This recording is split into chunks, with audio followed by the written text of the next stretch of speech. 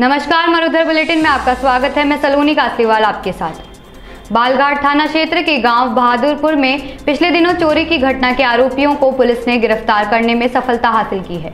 थाना अधिकारी मुरारी लाल मीणा ने बताया कि गाँव बहादुरपुर निवासी रामराज पुत्र रामजी लाल मीणा ने रिपोर्ट दर्ज कराई थी कि उसके पटौर पोष मकान की पट्टी हटाकर रात्रि को अज्ञात चोर नकदी सहित आभूषण चुरा कर ले गए।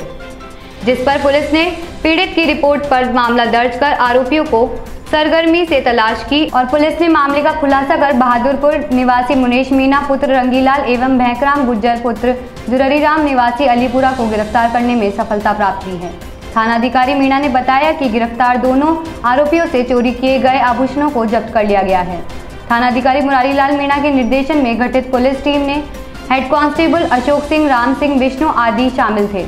इसी प्रकार बालघाट पुलिस ने फरार वारंटी लोहड़े मीना, पुत्र भौरिया निवासी राजोली एवं नाजीम पुत्र बंशी निवासी राजोली को नांगल शेरपुर स्टैंड से गिरफ़्तार किया है। फ़िलहाल इस खबर में इतना ही। आगे की और खबरों के लिए देखते रहिए मरुधर बुलेटिन।